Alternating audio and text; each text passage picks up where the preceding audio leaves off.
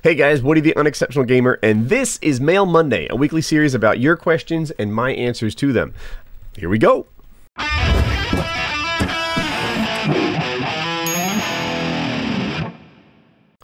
So while this video is not about the gameplay, I thought I'd make a couple quick notes on it. One, it's COD Ghost. It's next year's Call of Duty, so I got a chance to play it early over in their multi multiplayer uh, exposed, you know, event.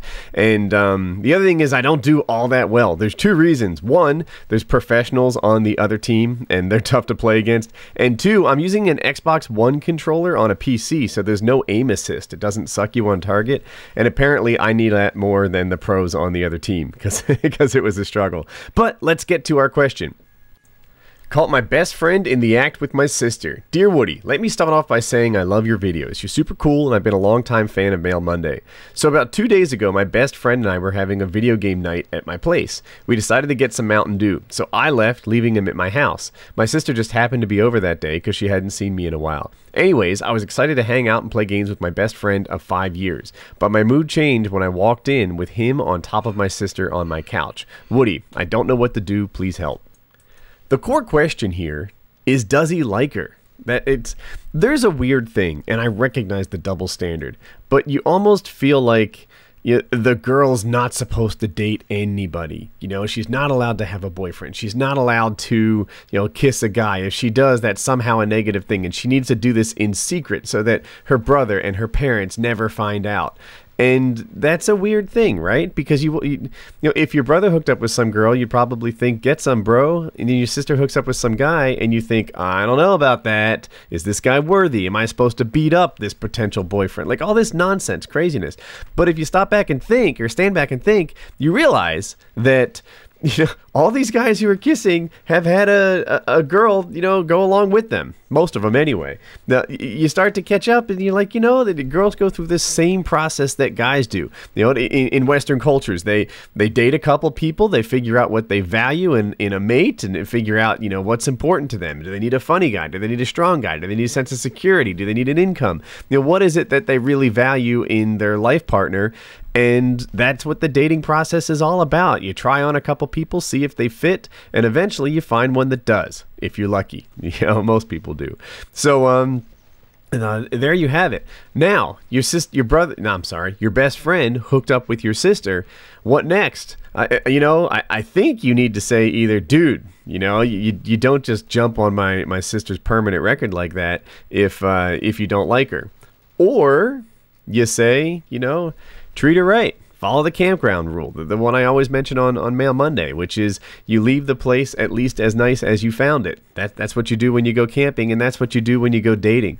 So if if, if he's going to hang out with your sister, he needs to make sure that at the end of it, you know, they're still friends. I'm still friends with every ex I've ever, well, I'll still talk to him, but I'm not on hard feelings with people that I've broken up with. And, uh, they, he needs to do that too. That needs to be a normal thing. The relationship shouldn't end when the first one cheats. The relationship shouldn't end when, you know, the first one hits or whatever other ridiculous nonsense can happen out there. So, um, so yeah, if he likes her, this isn't a problem at all. It, it, kissing your sister is not an act of violence. It could be an act of love. Getting bitches with hygiene. I'm a typical 16 year old Australian guy finally getting into the dating scene. I've scouted a potential mate, but being the scholar I am, I've done my research and learned that she really likes guys that smell good. I fulfill the rest of her criteria, but I'd like to seal the deal and I'm not sure what she means by smell. Does this mean hair, breath, general BO? Do I need to start wearing aftershave? Surely there will be other guys in my situation looking for an answer, and I therefore demand that this be placed on Mail Monday. All right. You know, I have a question that's never been seen on Mail Monday before, but it's a good one, so so I'll answer it. The some of the stuff that you're talking about, breath, hair, uh, BO, um, these are baseline requirements. That's not what she's talking about. I think it goes without saying that you're supposed to attend school and not smell like BO. And it goes without saying that you're not supposed to have bad breath. What she's talking about is something over and above that. She's talking about either an aftershave or she's talking about um, you know some sort of like I don't know an Axe body spray or, or something along those lines.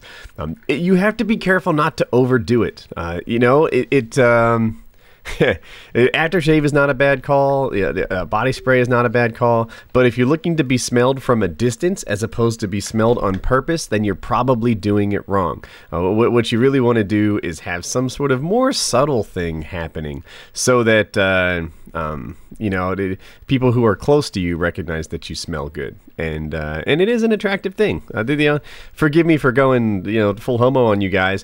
Wings of Redemption smells good and it um, i want to say caught my eye but i guess i should say caught my nose. Like it it uh, you, you, meet the guy and you're like you know what? This is a good smelling person right here. This is a guy that uh, you know that, that, that takes some pride in his hygiene. And it shows and it stands out and it does make a lasting impression that that lasts you know like a lasting impression. So it's a good idea. I, I, I, almost wish that I had a signature smell beyond just like whatever soap I was using at the time. So um, yeah, that's what she's talking about. Best of luck. Hope you seal the deal.